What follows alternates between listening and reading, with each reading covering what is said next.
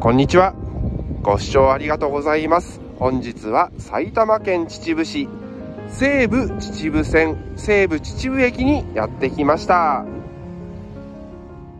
約2ヶ月ほど前に訪れました横瀬車両基地。今回動きがあったということでやってきたわけですが横瀬の一つ先の駅西武秩父駅までやってきました。前回を訪れた際は平日です。しかし本日は休日ということで秩父鉄道で SL が走っています。パレオエクスプレス号ということで熊谷から三峰口間の運行。本日この後やってくるようなのでまずは秩父で見ていきたいと思います。この奥が西武秩父線秩父駅となっていまして下の線路こちらが秩父鉄道となっています。反対を向きますとお花畑駅となっています。この後 SL が通過するようですね。JR 東日本高崎支社でも SL の運行はあります。しかしここ最近 SL の検査等で運行がないんですよね。まずは秩父鉄道 SL をお付き合いください。その後横瀬に行きたいと思いますので本日もよろしくお願いします。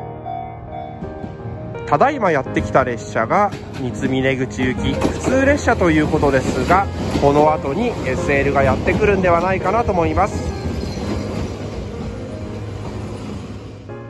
まあ、現在いる場所と線路がとても近いです。SL の大迫力見ることができるんではないかなと思います。遠くの方で SL の汽笛が聞こえます。現在いる場所は秩父鉄道お花畑駅ということですがこちらが熊谷方面。この目と鼻の先に秩父鉄道秩父駅がありまして SL パレオエクスプレス。数分間の停車が予定されています、まあ、秩父駅に停車中に汽笛が聞こえたのかなと思いますが車両の方が見えてきました。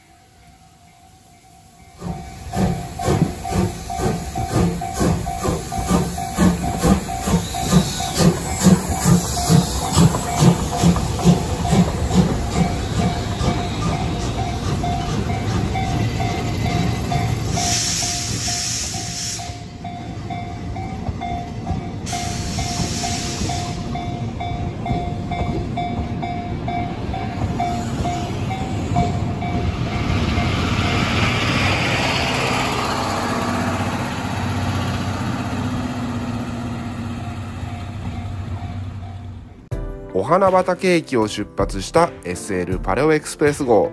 三峰口に到着後は折り返し熊谷行きの SL 列車としてこちら秩父にやってきます、まあ、本日は天気も良く週末ということもあり桜も咲いています。お花畑駅では大変多くの方が SL を見ていました。まあ、今回車両の紹介はしませんが乗車する機会があれば説明したいと思います。今回は省略させていただきましたがご了承ください。ということで西武秩父駅に戻ってきましたので西武秩父線に乗車。横瀬駅に行ってみたいと思います。遠くには秩父のシンボルとも言っていいでしょう。武甲山がとても素晴らしいです。約3分の乗車で横瀬に到着しました。先ほどは秩父市だったんですがこちらは秩父郡となっています。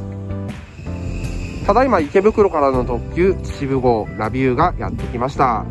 反対を見ますと先ほど乗ってきた列車飯能行きとなっていますが飯能まで西武秩父線なのかなと思っていましたが途中阿賀野から西武池袋線となるようです。ということで間もなく出発ですね。ラビューと同時出発ということですがこの奥を見ますと2000系が止まっています。ホームの先端までやってきましたが車両ナンバーが確認できません。そしてこちらには2001でしょうか見ることができますがはっきり見えませんので改札を出まして近くまで行ってみたいと思います。本日は週末ということもありこちらを見ますとエストレイン。横浜中華街から西武秩父間を土日を中心に運行しています。まあ、横浜中華街と言いましたが元町中華街みなとみらい線から直通してくる列車です。先ほど特急秩父号はこちらの横瀬駅停車をしましたがこちらのエストレインは横瀬駅は通過。ホーム有効庁の関係から通過ということになっているようです。前振りが相当長くなってしまいましたがやっと横瀬駅に到着。こちらで喋ってしまいますと動画の方長くなってしまいますので一気に行きたいと思います。前回こちら横瀬車両基地にやってきたのは2月中旬。新旧の2000系が臨時改装ということで横瀬に到着しています。廃車が目的ではないかなと思うんですが本日車両の方どうなってるんでしょうか。編成の方は旧2000系2401-2両と新2000系 2519F ということだったんですよね。その後1ヶ月経ちまして3月下旬新2000系 2521F が臨時改装されています。ホーム先端から見えた車両に関しては2275そしてこちらが2276となっていますので 2075F ではないかなと思います。そして奥を見ますと1両だけ2001ということですね。赤電が止まっていましてこちらにも車両が止まっています。見に行ってみたいと思います。ただいま丘に上がってきました。こちらが新2000系 2521F ということで3月にこちら横瀬にやってきた車両です。こちらの留置されている場所河川はなく無河川地帯となっています。ちょっとシートがしてある車両が止まっていまして車番は確認できませんが2521ではないかなと思います。そして隣の車両となりますが2522そしてこちらの車両は2621そしてまた車両の方を見ることができませんが26224両編成ではないかなと思います。そして先ほどの車両ですが 2075F こちらの編成は8両編成となっています。そして前回やってきた時の車両ですが 2519F そして 2401F2 両ということですがシートにくるまれた車両ではないかなと思います。ちょっとわからないですけどね。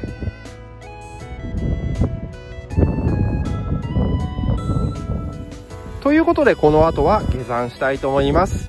前回やってきた時は草ぼうぼうの道今回整備されていまして大変綺麗になっています。こちらが下から見た 2521F 無河川地帯となっています。西武秩父方向からラビューがやってきました。シルバーの車体がかっこいいですよね。そして台車部分。ということで出発ですねぐるっと回って反対側にやってきました。こちらシートをかぶった車両が見えていますが銀河鉄道39のラッピング車。そしてその奥には1万系ということでニューレッドアローの車両ではないかなと思います。前回やってきた際は一部の場所シートがかかってなかったんですが今回は完全にシートに覆われています。こちらが下回りとなりますがこれを見ただけで車両形式わかる方いらっしゃるんでしょうか。2001を見ることができましてこちらが赤電です。そしてシートに覆われていますがこちらは電気機関車ではないかなと思います。この先は登山道となっています。行けないことはないのですが蛇などいると嫌なので戻りたいと思います。